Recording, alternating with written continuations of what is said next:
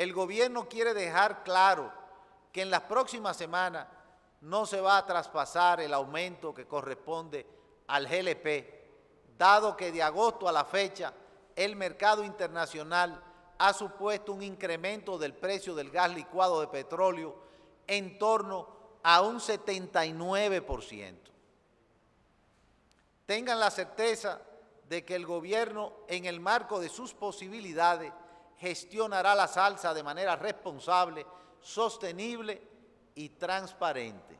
Ante esta situación global sin precedente en los últimos 25 años, el gobierno del presidente Luis Abinader ha dispuesto una serie de acciones.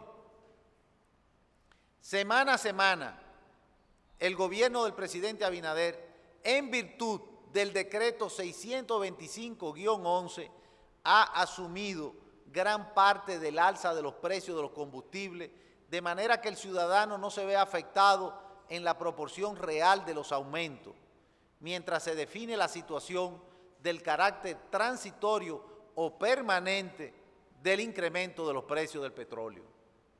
Si nos adentramos en los productos terminados como la gasolina, esta cotizaba a 51.43 dólares el barril en el mercado internacional.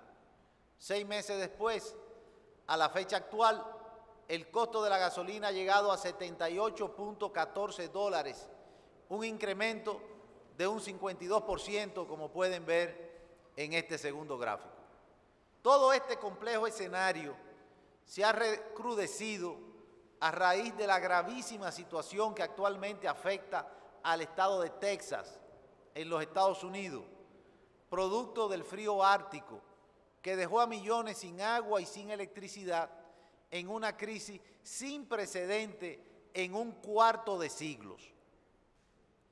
Siendo Texas el centro neurálgico de energía de Estados Unidos, tanto en crudo como en gas natural, y la referencia para el mercado local, los problemas de distribución y la alta demanda local de energía por las altas temperaturas tendrán un notorio impacto en los mercados de hidrocarburos de la República Dominicana.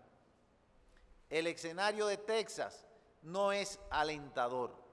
Primero, el clima inusual en Texas redujo la producción de hasta 4 millones de barriles diarios de crudo y de 21 billones de pies cúbicos de gas natural, según los analistas. Entonces, la realidad es clara.